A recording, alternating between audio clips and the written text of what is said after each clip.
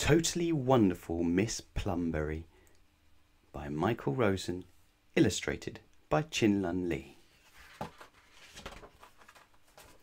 It was a totally wonderful day, totally wonderful weather, totally wonderful everything, and today Molly was taking her crystal to school. It came from the rocks at the back of Grandma's house. Grandma over the water and far away gave it specially to Molly, and only Molly. Molly's own crystal that she kept by the side of her bed so that she could look deep into it as she was going to sleep.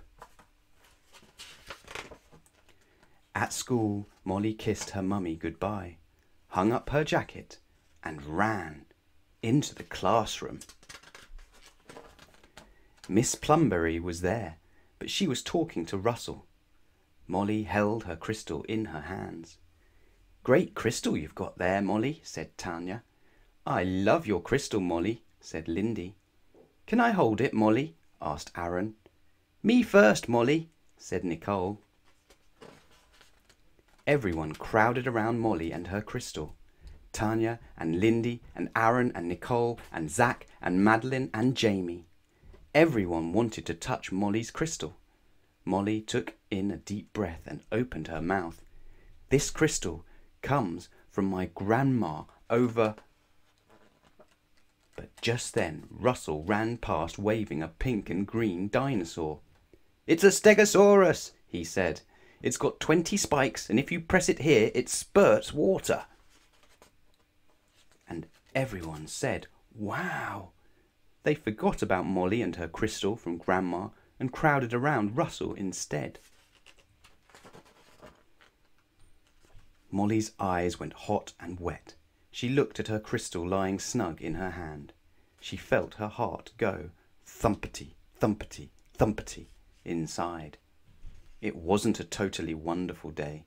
It was a totally horrible day. The most totally horrible day in the whole world and in a minute a great big lion was going to run in and gobble everyone up. Come on, lion, come on, lion, thought Molly. Just then Miss Plumberry looked up. She saw everyone crowded around Russell. She saw Molly all by herself. She saw Molly looking sad. Molly, what have you got there? she asked. Molly said, It's my crystal from Grandma, but nobody likes it except me. Miss Plumberry stood very still. Then she clapped her hands, and everyone looked at her. Molly, said Miss Plumberry, tell me about this crystal. Molly said, It's my crystal from Grandma over the water and far away, and it comes from the rocks at the back of her house, and I keep it by the side of my bed, so I can look deep into it as I'm going to sleep. Miss Plumberry looked at the crystal very, very closely. Then she said, Molly, your crystal is totally wonderful. It's one of the most lovely and perfect things I've ever seen. When I'm looking into it, it feels like I'm falling and falling and falling deep into a warm pool.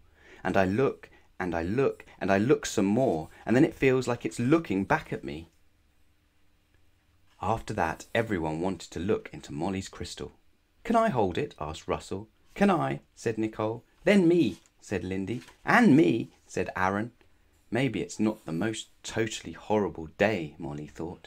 Maybe it's the most totally wonderful day, and Miss Plumberry is the most totally wonderful teacher in the whole world. Totally wonderful Miss Plumberry.